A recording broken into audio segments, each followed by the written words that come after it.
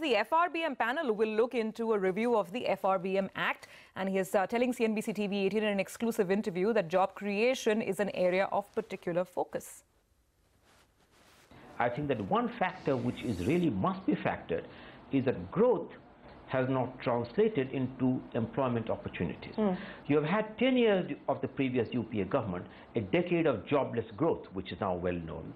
And so I think we need to not only focus on GDP numbers, need to focus on gainful employment opportunities. Mm. The bulk of these employment opportunities is in the informal sector.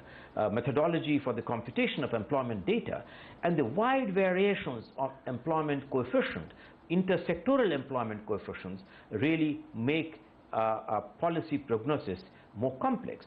But certainly we cannot look at growth without looking at employment the state governments also have public sector undertakings, mm. many of which are run very inefficiently. Certainly will be consulting the states. They are an important stakeholder in any of these uh, conclusions or recommendations that you want to make.